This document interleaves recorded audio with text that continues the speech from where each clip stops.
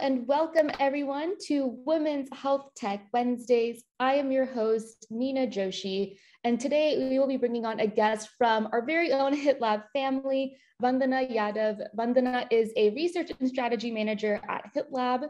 Uh, as you know, we love questions at Women's Health Tech Wednesday. So if you have any, please use the Q&A feature at the bottom of the screen.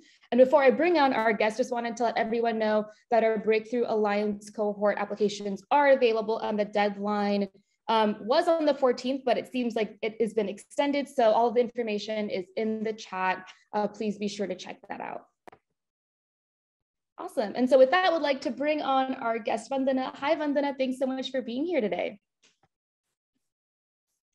Hi, Nina. It's a pleasure to be here. Really excited. We are too. Um, and of course, since this is Women's Health Tech Wednesdays, we have to start the conversation by asking you, what does women's health tech mean to you? Um, well, it means a lot of things, but at the essence of it, it's about making women realize the power of technology when it comes to improving their lives, improving their health needs, about using technology to educate them, what are their options to understand their health better and to make informed decisions when it comes to their own health. Um, and also now, as we are moving more towards virtual trials, then making representation of women in clinical research more a commonplace practice and not something which has to be advocated for. So really, you know, making women at the center of their healthcare, not just as an individual, but as a community, as 50% of the world's population. Absolutely. And I love that you really called out in all the different ways in which, you know, women can have a seat at the table. And of course, it's very um, research and strategy manager of you to bring up the research component, because I would love to kind of, you know, do a deep dive into that as we uh, continue our conversation. But before we kind of pick your brain about all things research, uh, first would love if you could just share with us about your background and kind of the journey that has led you to uh, this current position at HitLab. Sure. Um, well, I was always a researcher. And when I say so, that means I always had a curious mindset. Uh, when I was in high school, I, I really liked biology, but I also liked technology equally. Uh, that means maths and physics at that time. So I didn't want to go for pure medicine or pursue, you know, becoming an, a doctor by MBBS, but I really wanted something which is an amalgamation of bio and technology. That's why I opted for engineering and biotechnology. I hmm. did it from one of the leading, uh, you know, institutes under the University of Delhi because I'm from Delhi. Um, and it was a wonderful experience. Uh, there is a saying about engineering colleges in India that they really are like a pressure comes popcorn. They give uh, you know a comprehensive syllabus or curriculum to cover. They really put you in tough situations, but you know so that you can learn. When only when you're thrown off from the cliff, you know how to fly. So they really teach you the hard way, but they teach in a manner that stays with you for life. Mm-hmm. So that was the fundamental of of uh, you know my experience of understanding how research is done, what is biotechnology. Because I interned in different labs. I worked in genetics lab. I worked in bioinformatics lab. I learned about uh, RNA, DNA, recombinant technology, and you know lots of similar stuff. So my curiosity just just uh, you know increased and increased and for that reason after my undergraduation i didn't go for any work placements as, as most of my peers were doing mm-hmm. but i actually went for a master in science uh, in biomedical sciences uh, mm-hmm. at university of edinburgh that was another uh, a chapter in its own and, and a very rewarding experience uh, it was not a usual taught master's degree but it was a mm-hmm. research master's degree uh, and I got the opportunity to work on two very uh, very interesting projects. The first was on um, tumorigenesis in uh, mice cancer wow. cells. Uh, and the second one was even more interesting. It was on the idea of uh, reducing or replacing the use of animals for clinical research. So we were actually trying to develop um, kidney models from uh, mice kidney stem cells so that those kidney models can be used for uh, testing uh, toxicity of chemotherapeutic drugs like mm-hmm. cisplatin. So usually before you know clinical trials, normally a drug has to go through animal trials. Mm-hmm. But what if we can simulate that environment clinically in a lab and reduce the sacrifice of animals for our selfish need? So that's, yeah, it was it was incredible. very interesting. Yeah, yeah. So that was it. And you know, originally I was very focused on this idea of pursuing PhD because I was very research driven. Mm-hmm. But then uh, over the years, when I was working on these projects, I realized one thing that, uh, you know, in while the academic career is very uh, rigorous and it's very rewarding at the end of it, but it takes mm-hmm. a long time to see the impact on the real world. And for me, I wanted mm-hmm. to see the impact a little faster so I, I was really uh, looking for a combination where I can have research, I can uh, be in touch with latest technology, and I can deploy my skills and see the effect of it quickly, you know, and I can touch lives, I can make improvements. And that's where perfectly HitLab comes in. that's how uh, HitLab you know, provided everything at one place for me, and I was, I was delighted. So I joined the lab as a research associate, really working at the core of um, various types of research projects. And um, it, it was a, a very enriching experience so far. I I mean, we take up new projects every month, every quarter, and we work on multiple projects. It's just not the depth of uh, expertise we get in multiple areas, but also the breadth of digital health technologies and type of stakeholders we work with. So yeah, it's a you know for me it's a perfect fit, and that's that's why I love working here. That's incredible. And I would say because things are moving so quickly to be able to have a pulse on kind of everything that's going on in one place sounds um, very rewarding. And I can just tell as you're talking that research in general is such a, a, passion point for you kind of throughout your, your journey. Um, so it's, it's so great to kind of see that you are able to take what you've learned kind of with your academic rigor, but like you said, apply it to uh, real world situations. Um, and kind of speaking at your current role, would love if you could tell us a little bit more about, you know, what makes you passionate about this type of research at HitLab and a little bit more about, you know, what types of research do you do in this current position? Sure. So, you know, HitLab uh, as a center, as a laboratory, is really facilitating various budding startups, medtech companies, pharmaceutical companies, health systems, um, you know, non-profits, uh, establish some sort of evidence around digital health technology that or digital health service that they are trying to build. Mm-hmm. And why uh, research is important or why evidence generation is important because it is really the first step of the ladder uh, you know the ladder that leads to success the ladder that leads to market penetration the ladder that leads to acceptance of the technology. Um, and research is not just done to demonstrate impact it is done to inform yourself it is done for yourself to as a as a entrepreneur to understand is it the right space that you're investing your energy in are you right starting at the right foot? Have you uh, considered all the problem scenarios and picked up the right need to address? What is the addressable market? What are the financial projections? It is just not that you, ha- you are just passionate about a product, about a sector, and you go after it. You know, it has to be sustainable. It has to be financially, business-wise feasible later on. So uh, not just clinical validation is important to demonstrate it works properly and it is safe for the users, but then technical validation, can it be pulled off with the latest technology? Will it be interoperable at where you want to sell it? So, you know, all these are informed by good research, focused research in various directions. And you have to do it. I mean you you need it at every stage to progress to the next stage. If you don't do it it's like you are one horse running in a single lane and have no idea where the rest of the world is. And it's sheer yeah. luck if you're good. Yeah. So yeah. that that's amazing. And i like that you called out i think you know when you think about research especially kind of in an early stage environment i like how you mentioned you know some of the things that you really look for which is efficacy right? Want to make sure that what you are building is actually going to be valuable. But i like that you also call out the value of research just as um, as a learning for the entrepreneur the company. You are kind of able to understand almost like your business strategy just based off of research kind of as a starting point which i don't i definitely it's something that i am continuously reminded of, of of that value as well Um, so I like that you you called that out. That's amazing. Yeah, sure. Yeah, and so wanted to also kind of get get a sense from you. I know that you mentioned that you do research within the pharma space, within the the med tech space, digital health. I uh, would love if you could share, you know, within kind of this research huge umbrella, what type of, of research projects are you currently working on? Okay.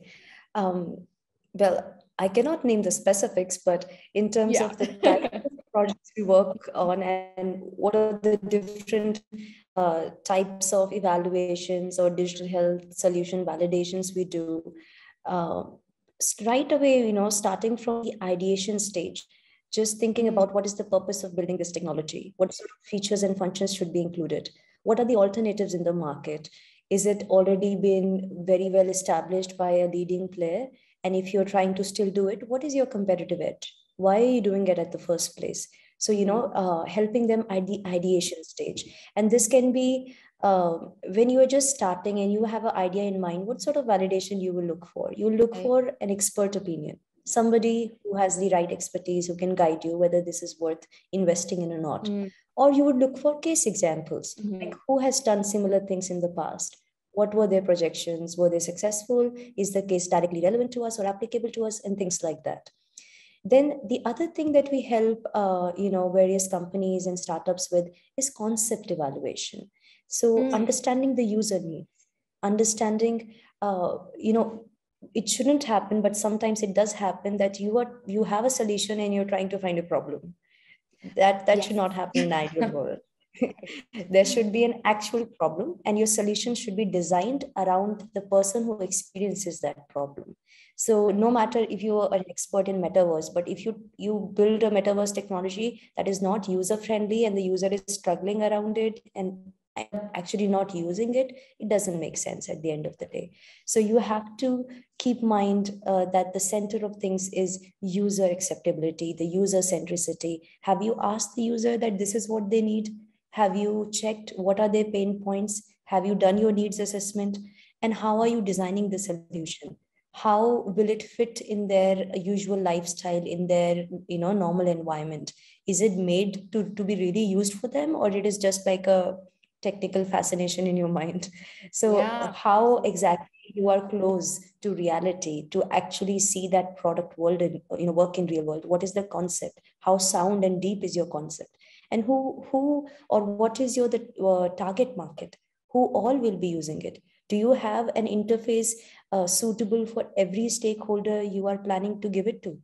Or you're just you know focused on okay consumer will use it and doctor will manage on its own no. Right right. It has to be friendly both ways and, and vice versa. So that's that's more about concept evaluation. Mm-hmm. and then we also do the clinical evaluation. What is the clinical efficacy of the product? How mm. exactly it is built? Will it deliver clinically what it promises to? How safe it is it? And then uh, we do the usability analysis of it. We mm. actually put it in the hands of some prospective users Oh, and oh. you know their feedback and not just random feedback. There's a whole lot of research goes behind it like what sort of questions we have to ask mm-hmm. where we have to bring in the focus of users so that they give us this targeted feedback on this particular specific you know feature or function of the device or the technology. And to incorporate that uh, if if the product is already in the development stage but they are seeking for another iteration then, then it can come in there.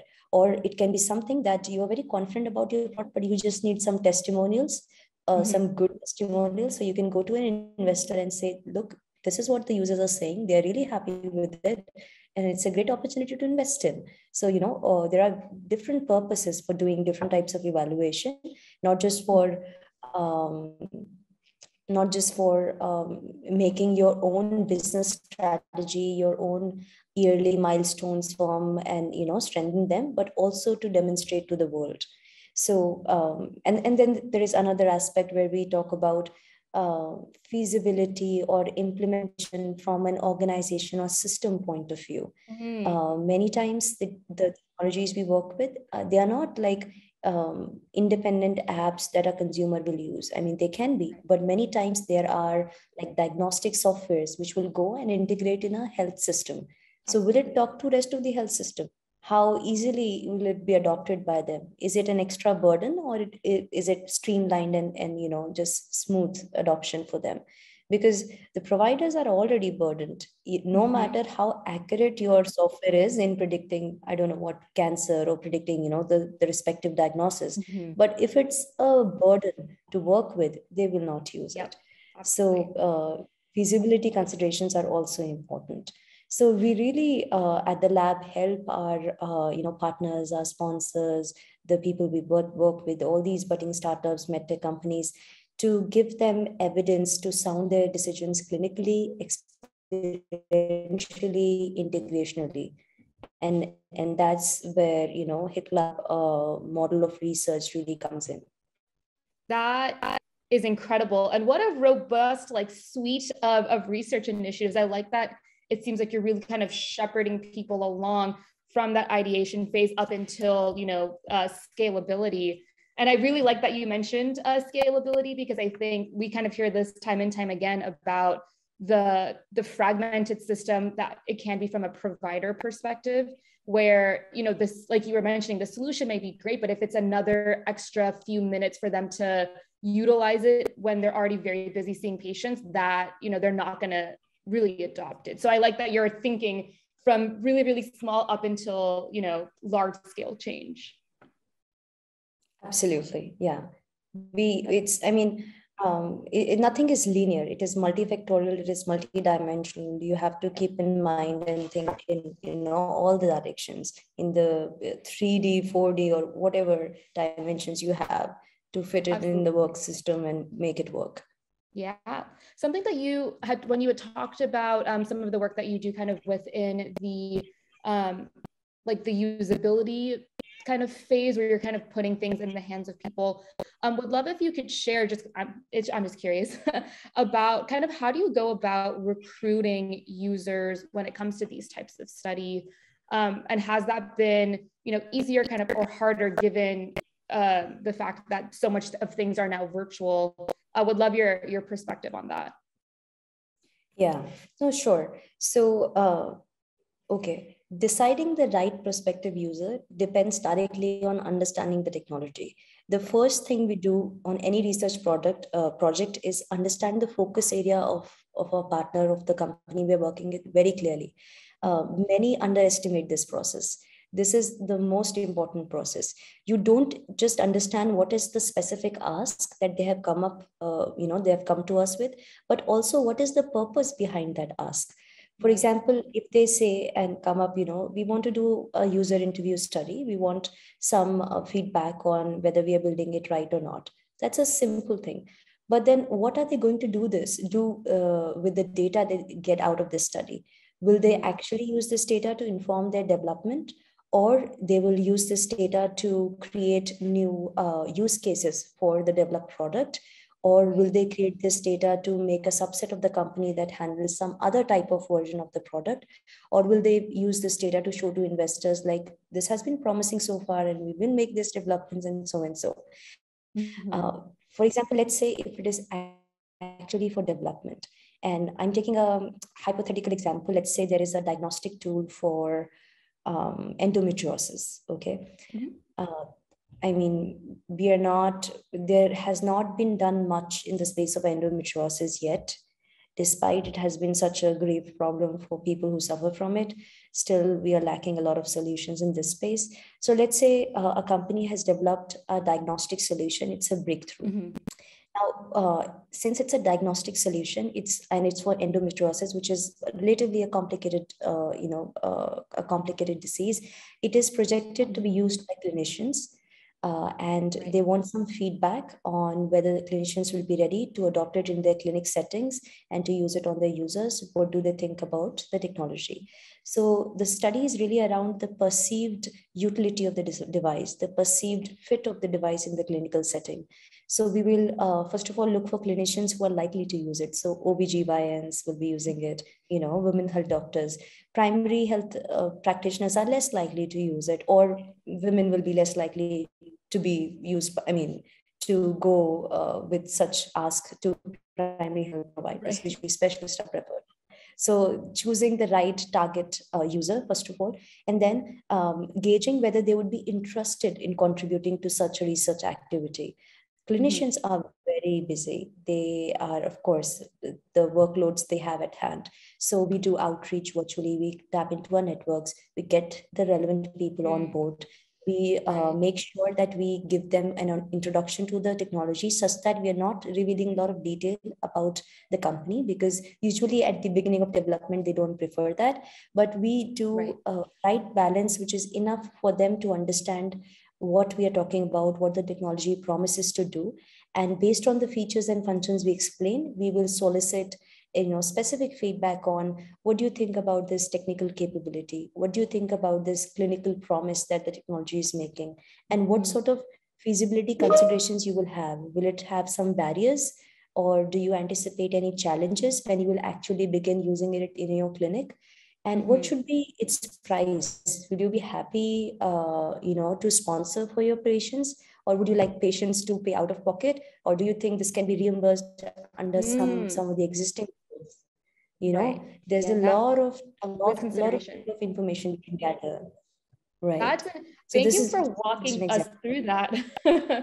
I think i think it just goes to show that there's so much nuance. There's so many different factors to kind of consider and it really takes someone and a team that's very kind of methodical and very intentional um, so i think you just spoke to really the power of research um, with that with that example um, I know we are about six minutes out, so wanted to quickly ask you, um, you know, you have been in the space for a, a, a, long time. You probably have seen so much and have so much, you know, wealth of experience. Would love to kind of get from from your perspective. This will be like Vandana's hot take. What is um, what excites you about new technology? Is there any uh, technology that maybe you're seeing in development that you think um, you know could be really interesting, could be a good discovery? Uh, what types of trends are you seeing out there? Sure. Um, well, if we talk about in general technology, uh, metaverse is really exciting. Uh, mm, totally. I know it's still at nascent stages, especially in healthcare. And when we talk about uh, applying it to telehealth, it will come with a lot of ethical considerations, understood, but still it is very exciting. Well, you know, any breakthrough at once has been uh, looked with skeptical eyes and, yeah. and judged you know harshly but then eventually technology just surprises us and as it grows and as it you know shows promise and, and delivers so i'm hoping something similar for metaverse um, That'd be amazing. well i've heard of cases already i mean it's not metaverse but for example if you can use vr technology and a combination of robotics to perform surgery when the surgeon is in one country and the surgery is being performed in another country like mm-hmm. who would have imagined that a few decades ago if yeah, that's happening yeah uh, we would soon be in a metaverse healthcare setting and that that just completely transform the healthcare accessibility scenario you know it has uh, tremendous potential that way um, well talking about women health tech um, first of all i'm really happy with the progress we are making i mean how the space in general is evolving in in last mm-hmm. four to five years especially but still, um, honestly, I would say the concentration of development has been limited to some areas. For example, uh, there are a lot of solutions in maternal health, in menstrual health, or in sexual health or fertility. But what about menopause? What about contraception? What about endometriosis? What about other, you know, similar neglected areas that are still very significant and a lot of population, women population are suffering from it. So we need more uh, diversity in terms of concentration of developments, technical developments in these spaces. Um, we are just growing more and more on saturated markets. And I'm not saying that we are not making progress. I have seen solutions coming up in menopause space, but comparatively still, I mean, people are just running more towards fertility or or towards menstrual health in general. Yeah. Yeah. I, I totally agree. I think there, there's still so much um, work to be done. I, I, I, totally agree with you. I think it's important to acknowledge the progress that's been made, but also, um, you know, share the opportunity areas. And when you mentioned in your example diagnostic for endometriosis, I was like, oh, that sounds amazing. But I'm, I'm definitely hopeful that there's going to be a lot more attention um, to these specific places. Um, and then one last quick question that we ask everyone as we wrap up our time together is what are some words of wisdom, whether that's advice that you have, advice that maybe you were given by a mentor that you want to share with uh, the women's health tech community? Sure.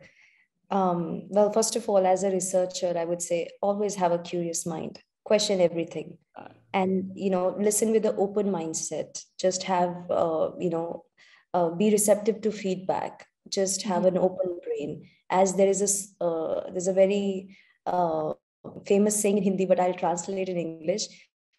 A rock that will fear chiseling will never become a sculpture.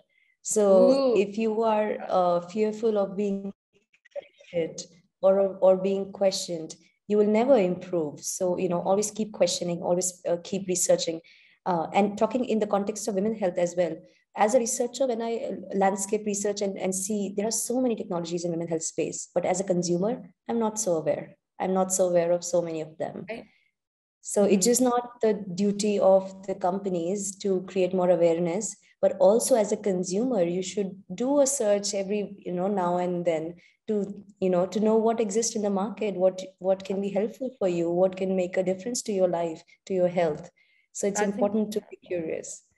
I love that. And I love, we all should aim to be statues and not rocks. I think that is uh, an incredible um, way to end it. Thank you so much, Vandana, for, for your time today. Um, and I think you really just made the case for just the the benefit, the value of research, and really what it can mean, not just for an individual company, but really for everyone as we are entering, you know, this new and very exciting phase of innovation and technology. So really appreciate you um, taking the time to chat with us today. Thank you so much. It has been a great pleasure. Thank you. All right, awesome, everyone. I uh, just have a couple of announcements. Uh, next week, we will be chatting um, with Sneha from Qualcomm, so please be sure to check that out. We also have a um, symposium that is coming up, and there we go. the application deadline has been extended. All that information is in the chat, so please register. Um, we also have a podcast, uh, so that new episode will be available, as well as the Digital Health Symposium uh, wanted to give one last huge shout out to Vandana for just taking the time to chat with us today. Also wanted to thank our sponsors, Goodwin and Withum, and we'll see you all next week. Bye, everyone.